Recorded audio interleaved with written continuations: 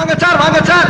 காலங்காலமாக உங்களை கடித்து கோதரி சித்திரவதை செய்து கொண்டிருக்கின்ற மூட்டை பூச்சியை சுலோகமாக கொள்ளும் நவீன மிஷின் விலை நூறு? ரூபாய் சார்? நூறு நூறு ரூபாய் நூறு ரூபாய் நூறு ரூபாய் நூறு ரூபாய் நூறு ரூபாய் என்ன சொல்லி வித்த? கேள்வி எல்லாம் கேட்கப்படாதுன்னா கேட்லாக்கு கொடுத்துருக்க நாங்க. மறுபடியும் படி விளக்கம் சொல்றேன். வணக்கம் சொல்றா புறா.